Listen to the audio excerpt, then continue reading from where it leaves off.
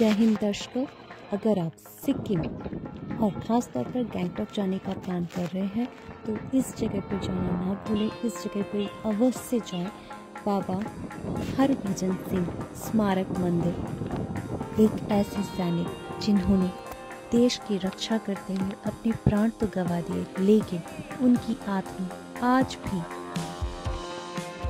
वहाँ तैनात सभी सैनिकों की रक्षा करते हैं। यह मंदिर गैंगटॉक से 50 किलोमीटर दूर, तेरह हज़ार फीट की ऊंचाई पर स्थित है। यहाँ पहुंचकर जहाँ आप नम आँखों से बाबा जी के प्रति श्रद्धांजलि अर्पित करेंगे, वहीं देश के हर सैनिकों के प्रति आपका सम्मान भी बढ़ेगा। जय हिंद। आप लोग यहाँ अवश्य जाइए। भारत माता की जय।